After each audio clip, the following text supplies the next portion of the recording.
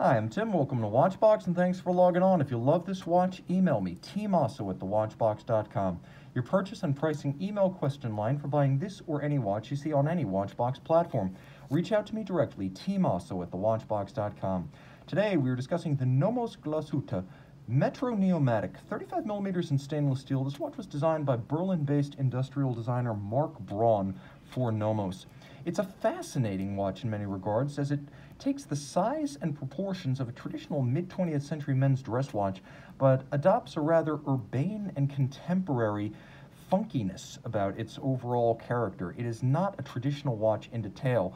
The timepiece is thin, 8.4 millimeters thick, and from lug to lug only 42 millimeters. The timepiece really does wear like one of the golden era AP, Vacheron, or Patek Philippe dress watches from the 40s, 50s, and 60s.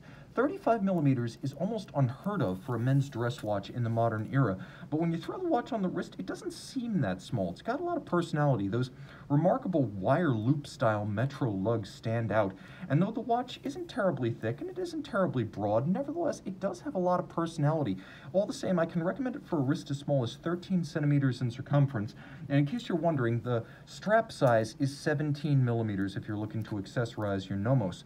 It is very handsome, comfortable, and extravagant, one might even say, with champagne dial, polished case, and signal orange accents. Taking a quick look at the strap, it's a handsome piece, a little bit different for Nomos, which usually features a seamless shell cordovan. You can see this hide is beautifully dimpled, somewhat somewhat wrought. It has a slightly contrasting stitch, a lovely folded side, and it's almost honey honey yellow, a brand new Nomos factory strap, and as you can see with pull tab spring bars on the underside, so though it looks as though it's stitched on, you can actually pull the tab and remove it without any tools. It is very supple, very soft, beautifully made, and the dimpling at close range is, well, it's beautiful. This is a watch that is beautiful, and it does so with a minimum of fuss and features. The buckle is simple. It's a clevis type folder. It has a little bit of a polish to it to give it some grandeur, not by virtue of size, but by virtue of grace. You can put the strap inside and you see that there's an elevated bridge. You, see how the bridge is elevated over the prongs so that the strap will sit partially inside the buckle itself. Rolling over to the case, it needs no great details beyond the junction of lug, case, and bezel. And as you can see, it's a back loader with everything going in through the back of the case. There, there's nothing remarkably extravagant. There is nothing overwrought. There's just the junction between the lugs and the case, and then a blade-like lip to the bezel that is seamless, as the bezel and the case are all of one piece. The Nomos crown is triple knurled and a pleasure to grip.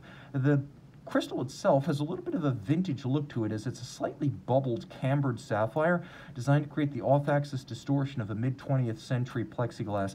And clearly that is the reference of this watch in its size, its proportions. It is referencing the mid-20th century, back before every man needed a wrist clock. Now, the dial is described as champagne, but I think it has a little bit more of a golden character to it than champagne, which is usually somewhere between yellow and pink. There's also the use of these radially arrayed Arabic numerals outboard for the minutes. The signal orange, which is actually quite lavishly applied as the entire dimple style minutes track is orange and then there's the signal orange hand inside an azurage or sunken concentric circular guilloche sub-seconds. There are quasi syringe hands. They're a hybrid of syringe and baton but they're entirely metallic and polished and this watch is an example of what Nomos does best bringing in outside name designers to create handsome watches and then filling them with competent watchmaking. This is the Nomos DUW Deutsche Uhrenwerk 3001. When you see a Nomos movement named after a Greek letter like sigma, that's a Nomos in-house caliber, but it's not Nomos' escapement. This, Deutsche Uhrenwerk, the DUW, that is an in-house movement. Automatic winding, bidirectional, 21.6 beat rate. It features a full balance bridge for shock resistance, it features stop seconds. It features a 43-hour power reserve. It pivots, as you can see, on 27 jewels, and it is nicely decorated with Glashütte stripes, engine turning on the base plate, fired blued screws.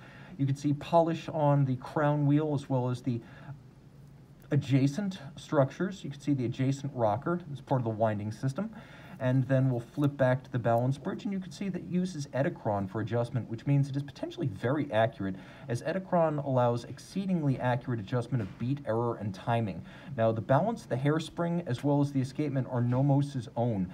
Again, DUW, it's their swing system. They're making the base plate, they're making the bridges, but they're also making the escapement, the hairspring, and the balance, which is an extraordinary achievement for a still relatively new watchmaker, and all of this 30 meters water resistant. I'm almost at a loss for words over this little watch. Email tmosso at thewatchbox.com for purchase and pricing details.